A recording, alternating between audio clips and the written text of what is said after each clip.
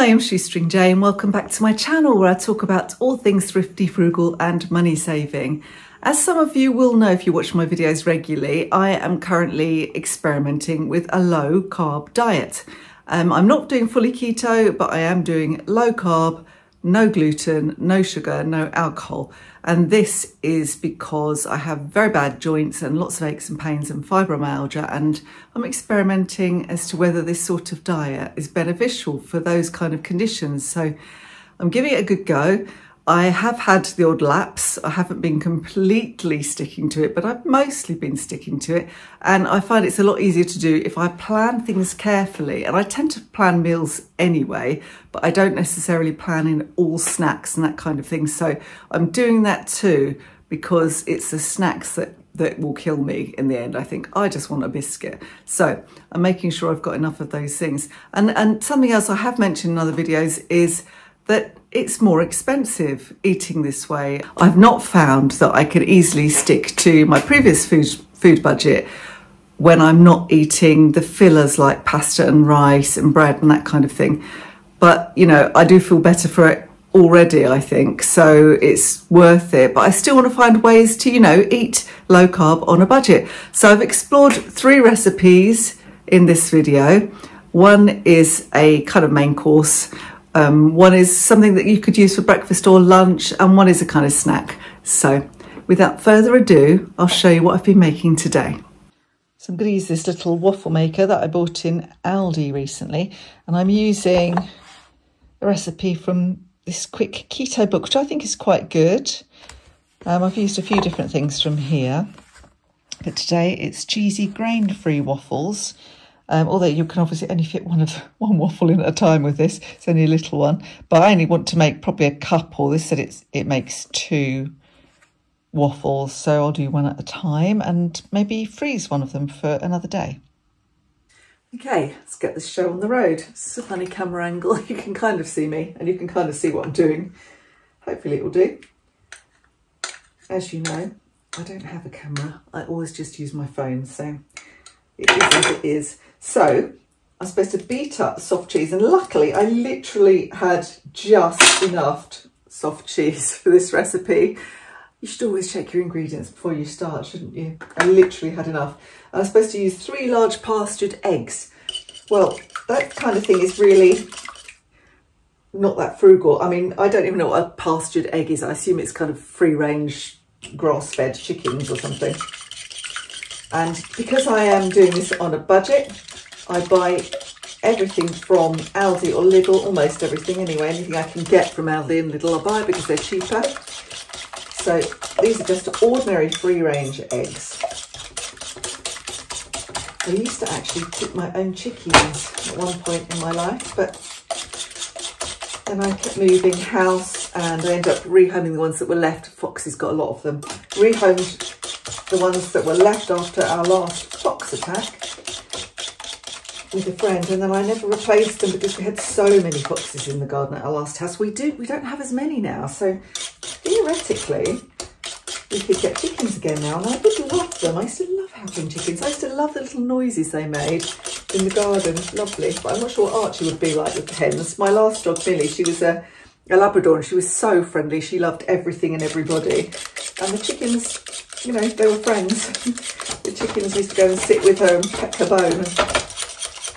She didn't mind at all. So you're supposed to whiz these up, just mix them well. So I've done that, mixed the cream cheese and the eggs. And then we've got to place the parmesan and the cheddar, plus all the dry ingredients on top. So I have half a cup of cheddar.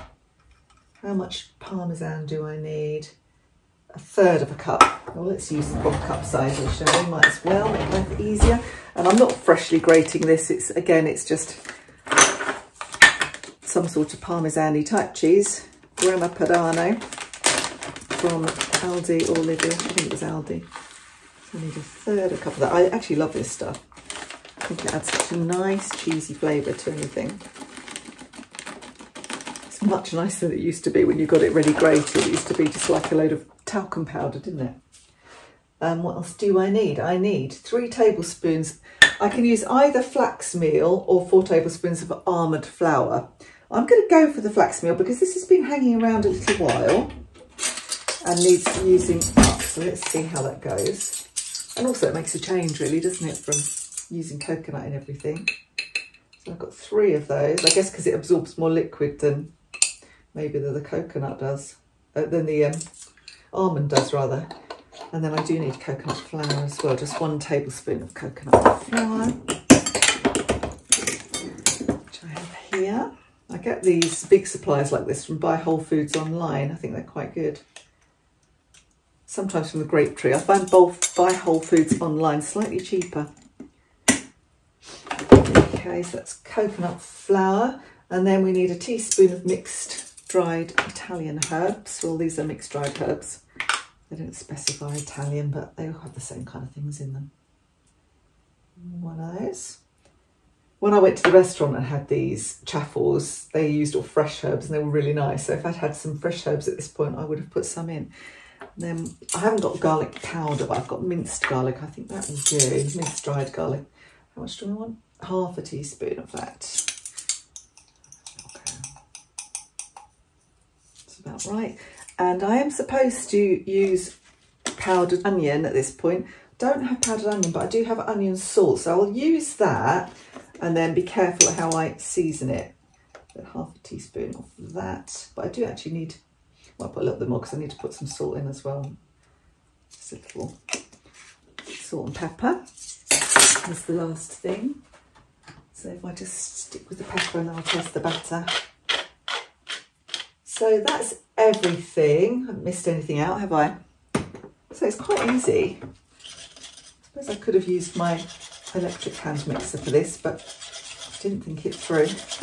I don't think it needs to be super light, it just needs to be well combined. So it's made a kind of grainy wholemealy looking batter because obviously it's got the flax meal in it. So if you prefer them not to look so grainy, you'd be better off using the almond flour, wouldn't you? But I think it looks quite nice and rustic. I reckon this might make three in my little waffle maker. It looks like quite a lot. Think that's pretty well combined. A taste. I know I'm eating raw egg, but never mind. That's really salty enough, so, and I can taste the onion. So what I have to do now is get this to warm up for a couple of minutes. And what it's a very basic one, so you turn it on and it comes on. So I know that some of them are much more complicated than this. It didn't say that I have to um, grease it or anything, so I'm assuming it's going to be fine. And I've got to pour the batter into the preheated waffle maker, close and cook for one to two minutes or until crisped up and cooked through. Well, the recipe in the instruction booklet for this says, well, it's not a recipe, but it says when you're making a waffle strip for six minutes. So I guess this is the ingredients that I've got here. So I'll go with that. That's not long, is it? And then you can freeze any leftovers. So I'm going to have one of these for lunch and then I'll freeze any others that I make from this for another day, as I say, but obviously let them cool first. I'll leave that a couple of minutes. So I've just remembered I forgot the baking powder. You're supposed to use gluten-free baking powder. I don't have gluten-free. Um, if you're really, really celiac or something, obviously you're going to need to make sure you've got gluten-free. I'm not eating gluten, but I'm avoiding it generally, but if I have the odd bit, it's not going to kill me. If I realised that, as I was putting everything away, I realised I hadn't actually used the, the powder. That will, do, that will do. And this is now hot enough, so, and is it, find a bigger spoon. Two, three quarters fillet or two thirds fillet. It's quite a runny batter. Ooh, sizzle, sizzling. Oh, that's probably, I'll probably overfill that. I don't know.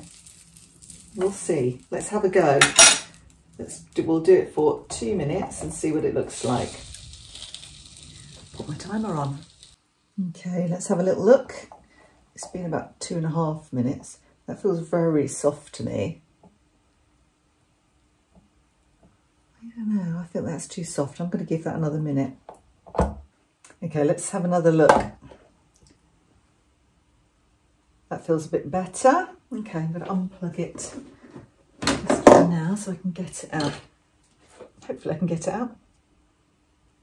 Oh yeah, it's come out nice and evenly.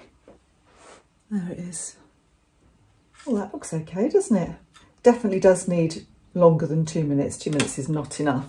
Right, let's get some more. That was about the right amount, wasn't it, as well? So it's kind of even with the edge.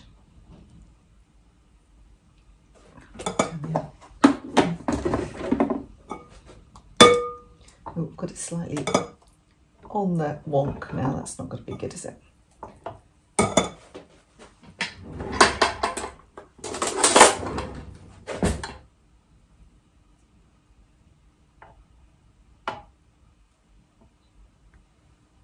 Okay, get that one on. We'll give this a try while we're waiting, see what it tastes like.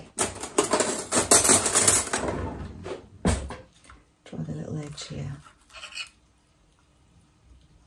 It's got uh, the kind of that kind of consistency you get a lot with um, carb bready type replacements, egginess.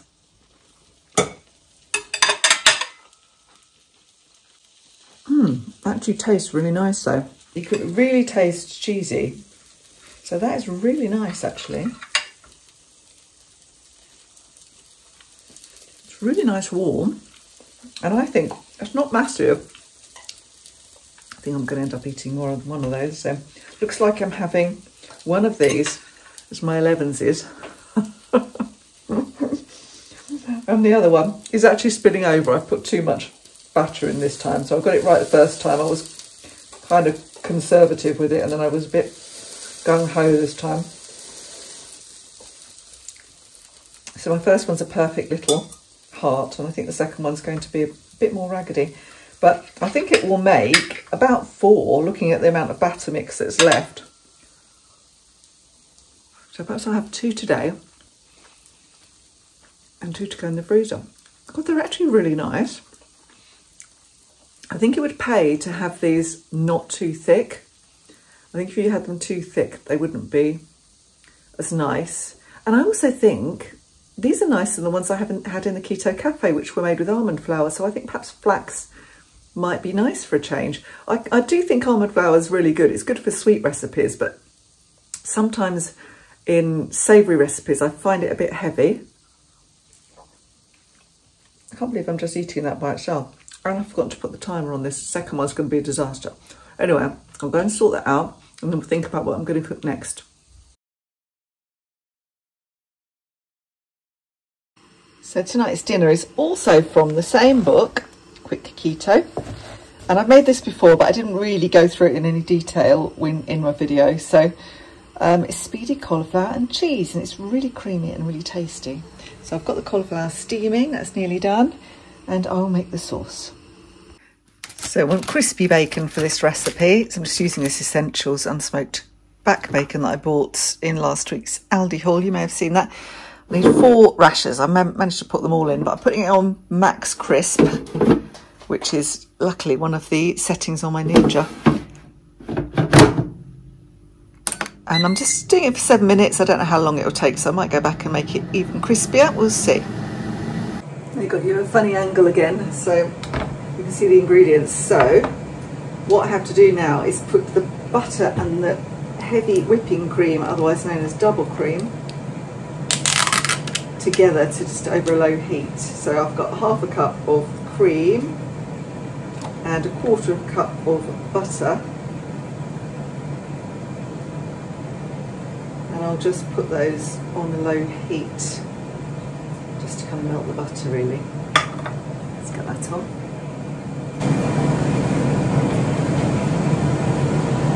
And then also need to I need to add to this cream cheese. And luckily I discovered another thing of cream cheese in the fridge because I thought I'd run out. And I had exactly the right amount for the waffles. And then thought I was going to have to go around to the shop. So I'm going to need half a cup of this. Half a teaspoon of garlic powder, which again I'm just using the minced dried garlic, which seems to do the job just as well. And one and a half cups of grated cheddar cheese. So get on grate that.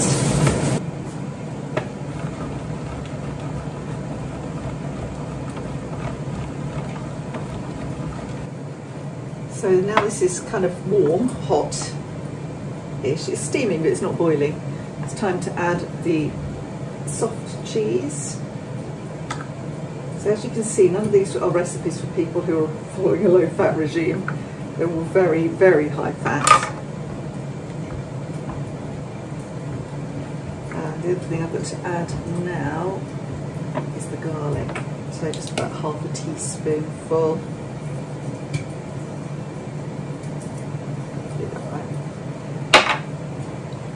And, um, and, something I've left out of this recipe is spring onions because I didn't have any and I don't really eat a lot of onions and if I do eat them I'll they'll tend to be spring onions because they upset my stomach a bit so I like the taste of them though so sometimes I'll just do it and I'll use onion powder instead so that's what I'm going to do just to get a slightly onion flavour. Let's mix this in. Okay. Then I add one cup of the cheddar.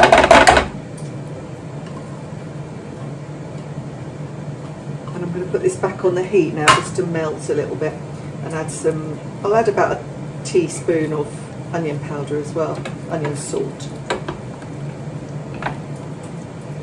and the grated parmesan and the rest of the cheddar will go on the top. Okay, so let's do that. So the uh, bacon is beautifully crispy and still sizzling. It's a bit too hot to handle. I'm just going to get it out a bit on the side to cool down a bit so I can snip it. It's a really handy feature, this Max Crisp feature in here. It's like when you've um, you've cooked something and it's not quite brown enough, but it's cooked and you just want to give it a quick extra brown. It's really useful. So that's there, that needs to go and get washed. So I'll snip that with the kitchen scissors onto just around it and about.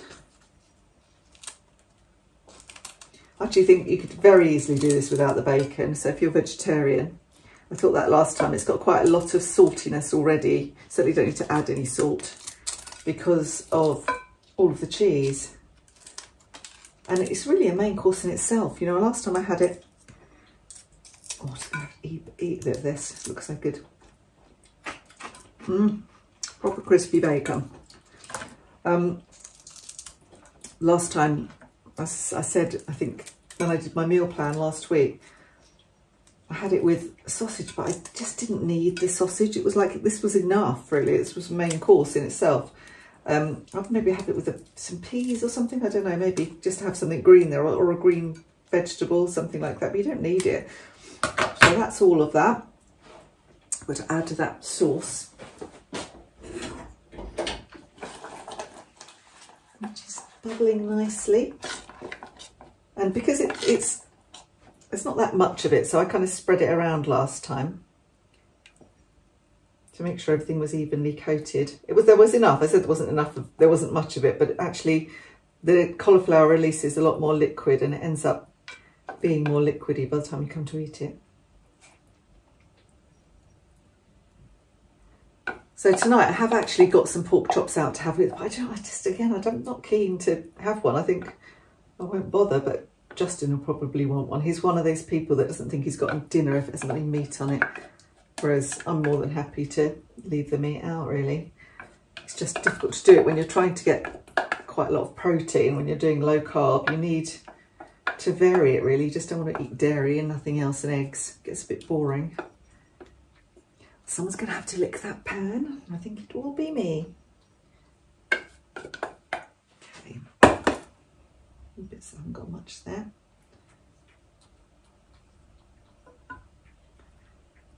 I'll spread that out a bit. Now, sprinkle the parmesan on. It's quite a lot of parmesan. It's a third of a cup. I don't always use American measurements, but I do find them very straightforward around with scales and pounds and ounces or kilograms and grams. they're actually a lot easier. I probably didn't do quite enough cheddar, but there's loads in there. So there you go, that's ready to go in the oven later for about 15 minutes. 15 minutes tops, and the recipe would be 10 to 12 minutes if I was using hot cauliflower, but I'll give it another few minutes. There you go. Oh my goodness, we just walked in the door from going to play ball and it started doing this, thank goodness. Just missed that, didn't we, Arch? So now you're just looking out the window at the rain, aren't you? Having thrown literally everything on the floor. As usual, he's thrown all of the cushions from both of the sofas on the floor and completely ignored the fact that he's got his lunch there. Right, let's get on with this cooking, Archie. It's got very dark and dingy. So, now I'm making some banana muffins and I did just film all this and then realised that you couldn't see any of it. So um, I'll just tell you what I've done. So I melted some coconut oil, add the rest of that. I have used butter in the past for this recipe. I've never used coconut oil. I thought I'd give that a try today. So I melted it in the microwave and I've added it to three bananas which were previously frozen so they're quite soft and mix those together and three eggs and whiz those together and also a teaspoon of vanilla essence. So I'm just at the point where I'm adding my dry ingredients. Now this recipe is from Castaway Kitchen and she does say to mix the dry ingredients in a bowl first and then add them, but I never bother doing that. It doesn't seem to be a lot of point. So what I've just added is one and a half cups of almond flour, a quarter of a cup of coconut flour, teaspoon of cinnamon, and half a teaspoon of baking powder. I'm just going to combine that properly.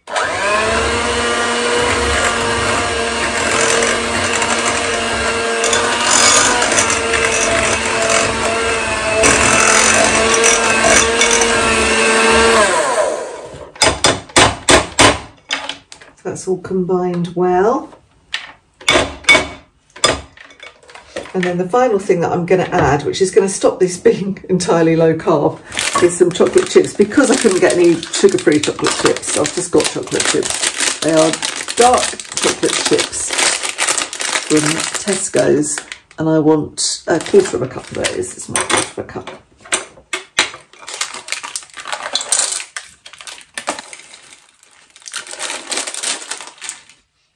So it's a quarter of a cup of chocolate chips. I'm just going to add those in.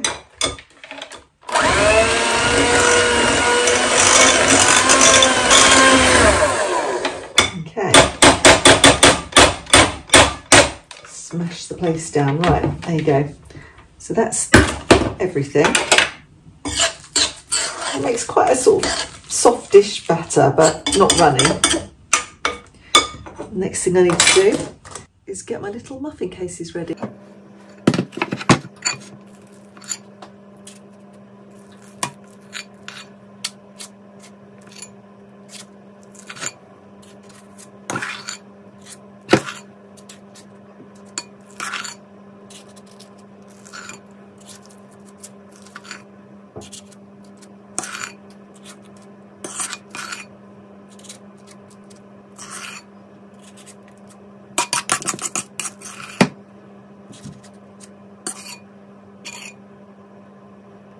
So they're done and they're cooled.